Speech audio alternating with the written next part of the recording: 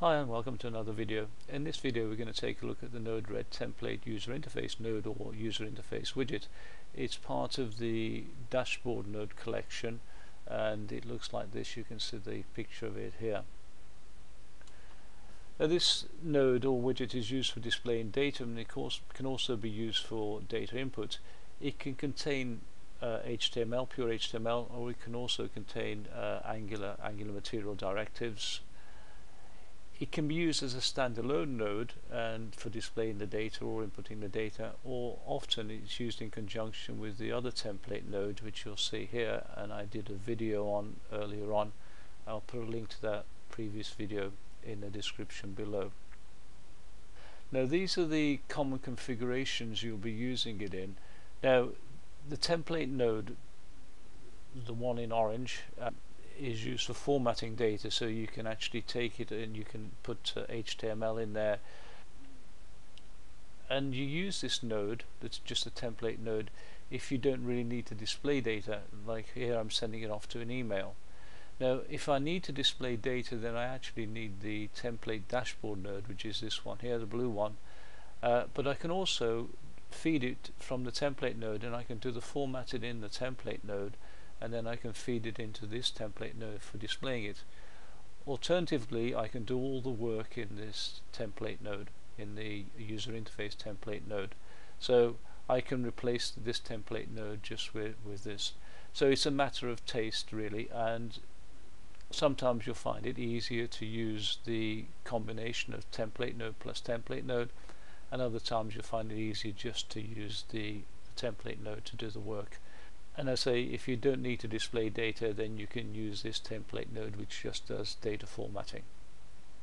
Okay, let's take a quick look at uh, Angular. Now, Angular uses what we call directives. Uh, to me, they look like HTML attributes in that you find them actually inside an HTML tag and you can see down here there's the HTML tag, the div tag, and there's a closing div tag and the Angular directive uh, goes inside there and there are two we can concern with and it's ng bind and that's actually equivalent to the squiggly bracket uh, notation which we'll look at in a second. And there's the ng model directive and one is for data output and the other one is for data input. And you can see here the ng bind here. We've got div ng bind html equals message.payload and what that's telling you is the contents of the message.payload goes in between the, the div tags. Now that's actually clearer if we use the other format which is the squiggly brackets message.payload you can see they go between the div tags rather than actually part of the, the div tag. You can see here there's a closing bracket, there's the opening bracket but here we've got the div tag opening div tag and there we've got the div opening sorry and there we got the closing div tag and we put the squiggly bracket message dot payload here. So the message dot payload whatever it is goes in between the div tags. Now for data input we've got a, an input uh, tag and inside that input tag we, we've got the ng model which is the angular directive and it binds it to a variable called name. And so when we enter text into here that text will be stored in a variable called name and we can access this variable. We can access it in the template node or we can even send it out from the template node and we'll be looking at that in when we look at the flows.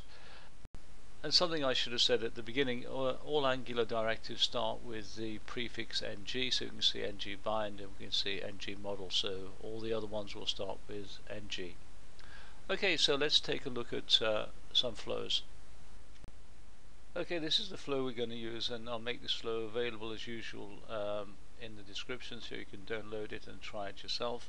Now, we've just got a couple of inject nodes here and we're injecting uh, a timestamp and a topic of time and in there we've got a topic of test and sorry, uh, topic of test topic and a payload of test. So they're just differ in the payload and this template node is basically the one you get when you just take the template node and drag it into the workspace. So this is the default template node and I'm just pushing it into a debug node so we can see what's going on but we will see it on the screen as well. So what's in here? well we've seen this before we're just binding the message.payload to the div so the the actual payload itself is going to appear inside the div tags and these are defaults pass through message from input add output message to store state and reload last value on refresh. I haven't changed any of those. They are default. So we're done. And if I take a look at the screen what, what we've got there. So here it is test 1 it's showing a value of test. And if I go back here and I inject the timestamp and go back and look we can see the timestamp and inject test. And we should see test in here so all it is doing is putting the message displaying the message dot payload. So if we move on to the second one I've just made an addition to this and I've got the message dot topic and the, this is the topic is notice I've got text here. The topic is sorry the payload is the topic is. And here I've bound it to the payload and here I've bound it to the topic. Now see what happens when I do this? If I press inject to inject the timestamp we get the timestamp here. Notice the text the default text that was there is overwritten. And if I inject there I've got test and test topic. So I'm displaying the message the payload message and the topic there. But notice the text that was actually in there as default text that never gets displayed. That's because it's all totally replaced by the message.payload in this case here it's totally replaced by the message.topic now if you remember early on uh, I said you can use an alternative format to the ng bind and I'm just going to demonstrate this. Now what I've done is disabled this template. You see it here disabled so it's no longer active and I've enabled this one and this time I'm using the squiggly brackets message.payload and you can just going to want to demonstrate it does the same thing as the ng bind. So there it is there. And if I look at the the screen I'm displaying the timestamp. And if I inject the test topic then I'm displaying test. And again inject the timestamp. And I see the timestamp there. So it works just the same as the ng bind and it's the one I prefer to use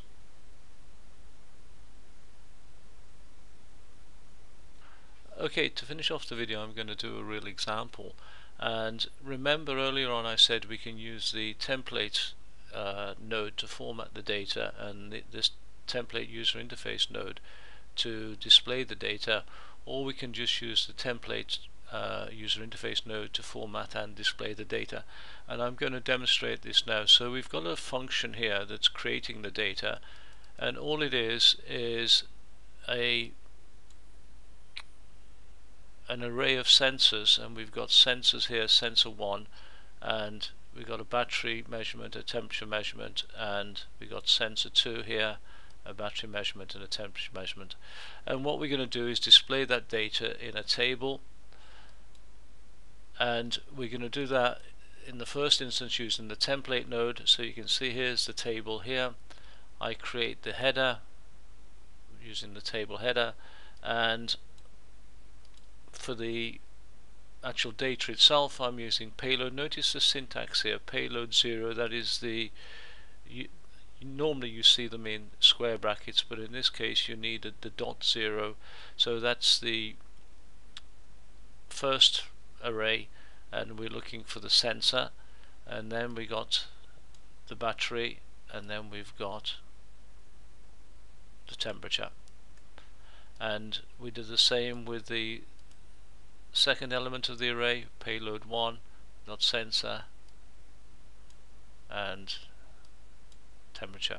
So now we go to the template and what I've done here is just styled it so I've got a style element here and I'm just giving it a background of light blue and I've given it a class and the class corresponds to this one here this is just so you can see it better and also to demonstrate the fact that you can use styles. And this is the default template ng bind message dot payload so this is what happens if you just drag and drop the template into the into the workspace. So let's have a look at the dashboard and you can see it's there. Test this is actually called test 3 so if I just uh, in, inject it it appears there not much of a demonstration that because it was already there but uh, take my word that's what that's what actually happens. Okay you notice here there's a, a scroll bar here and this you you get because the actual template node if you look at the properties of it is set to auto and if I look at the box it's actually sitting in which I need to go to the dashboard and it's test 3 so I edit that it's only 6 wide. Now if I increase that then you won't see the scroll bar. And I've done that with test 4 I've made it 8 and you don't see the, the scroll bar on test 4 even though it's displaying exactly the same data.